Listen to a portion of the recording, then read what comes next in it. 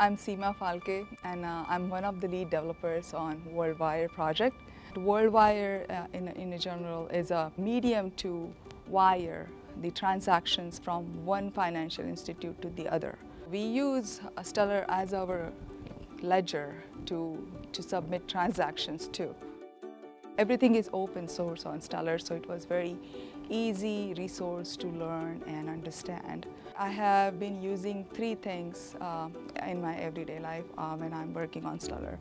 The first thing is the API documentation, the other thing is the lab, and the third thing is community resource. Documentation is really nicely, neatly done. That has been my Bible for uh, every day. And the other thing is lab. The lab is connected to the test network, which is live. While I was developing, I, I used this lab as my starting point to construct an example of this transaction and, and understand how it works successfully and in terms of error conditions. We learn from failures.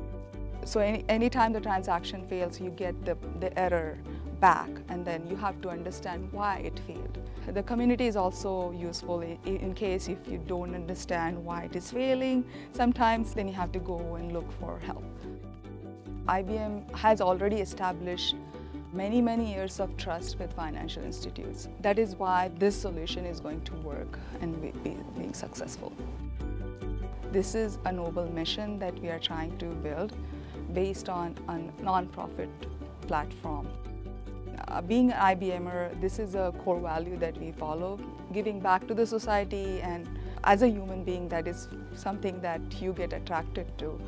Uh, if the, uh, there is an immigrant uh, who is working very hard, he wants to transfer money back to his home.